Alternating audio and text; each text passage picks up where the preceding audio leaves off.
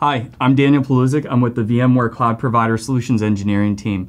I'm here today to talk about our new release of vCloud Availability 3.5. And I'm going to go through some of the technical what's new capabilities with this great release. So to start off, let's talk about the on-premises environment. As you may be aware, uh, when we deploy vCloud availability in the on-prem environment, it also deploys a plugin that resides within the vSphere environment. This has been enhanced, but also one of the distinct additions is now we have the ability to see bandwidth capabilities. And this is great because now this can not only be exported out to a TSV, but we can see what is our end consumption of that network utilization for any type of protection between a on-premises location to a cloud, between clouds, because the bandwidth metering also resides in the plugin inside of VCD, but also provides that end-to-end -end visibility of what's going on with my overall environment. The next thing I'm going to talk to you about is on the provider side. So previously, we had to collect usage reports on a per vCav instance. So if I had four different vCloud availability instances throughout my provider framework, I would have to go to every single vCav instance and now pull that manual report. Well, we released a patch for Usage Meter 3.6.1 that allows for automatic metering of any vCloud availability usage within the overall environment.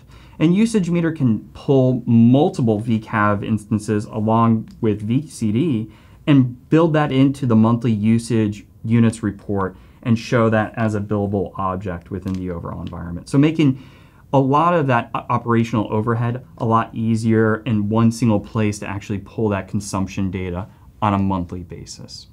The next thing I want to kind of talk about is what I consider the geo or regional data center support. So you can see that I have a cloud site for Phoenix with VCD, and we'll go ahead and add vCloud availability here. But we also have my Atlanta location where we're recording this Lightboard video. Um, but my Atlanta location is a little different than Phoenix. You can see that I have three different physical data centers associated to this single Atlanta VCD instance. And these are distributed throughout the state of Georgia. We have Macon, Buckhead, and Savannah. Previously, vCloud availability could only be deployed to a single instance or data center within um, VCD. We changed this logic within 3.5 to allow for this type of use case where I may have regional data centers all associated to a single VCD instance. Now, what this allows us to do now is optimal traffic routing. And this is very important because if I had that 3.0 instance deployed to Macon, but I had Acme that wanted to replicate to Savannah, I would have to traverse, hit Macon first, and then send that traffic over to Savannah. Now with 3.5, we still send the control traffic over to the VCD instance because that's where all of our roles-based access control resides and what are the policies established for my tenant Acme. But then all replication traffic is then sent to Savannah, where we have a respective vCloud availability stack deployed for Savannah.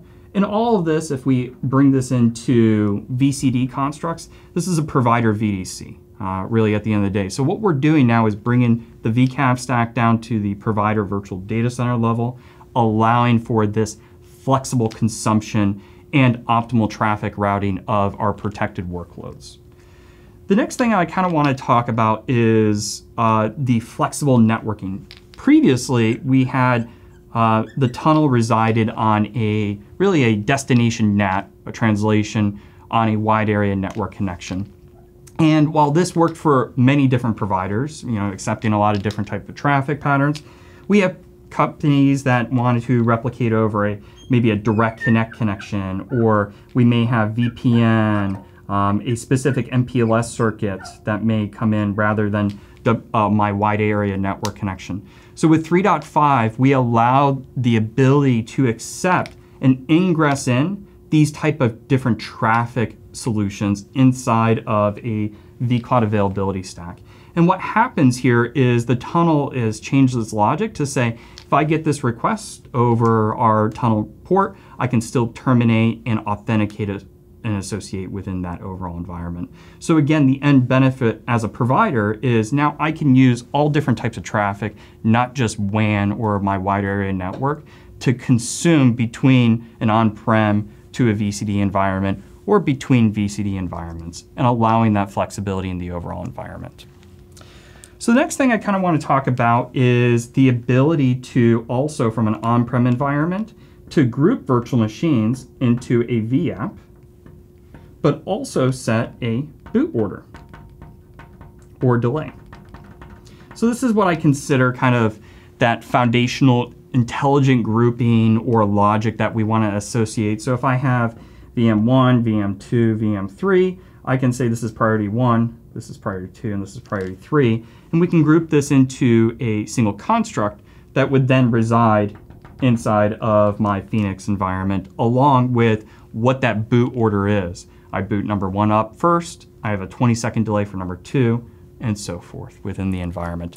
And this also exists over for cloud-to-cloud protection. So not only can we do VApp constructs within a cloud-to-cloud use case, we can also look at network properties of a VApp. So within the VCD construct, we have things like a VApp network or a VApp uh, edge or NATing or anything like that.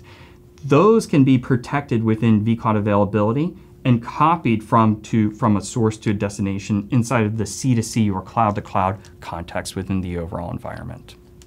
Now, if we kind of pivot over to what are some of those operational enhancements within the environment, we can now, as the uh, provider UI, we have a Swagger UI identified within the overall environment to allow for that extensibility framework and see what's available from a API, public API perspective with vCloud availability and pulling some of those metrics and protected workloads through an extensible API.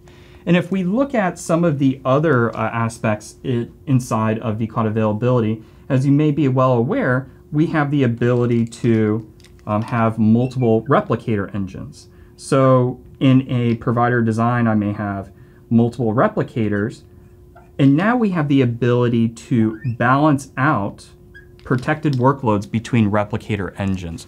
This is all done through the provider UI and allows, allows us to kind of use that kind of consumption to say, do we have too many protected workloads over onto this replicator? Let's move them over here. And this is a seamless migration process process within the overall environment.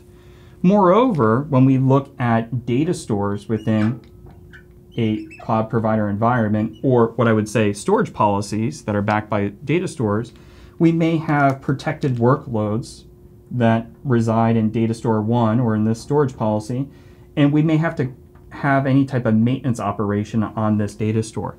Well, now we have the ability to put a data store in maintenance mode or evict it, if you will, and migrate these protected workloads over to the second data store within the storage policy within the overall environment. So learn more by going to cloudsolutions.vmware.com. Uh, we're really excited about this 3.5 release, and uh, thank you again for watching our Lightboard.